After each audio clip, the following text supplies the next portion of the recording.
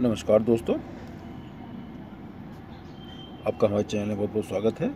ये देखिए white money plant का पेड़ है, बहुत खूबसूरत दिखता है ये। इसको आप अपने घर में स्थान दे सकते हैं।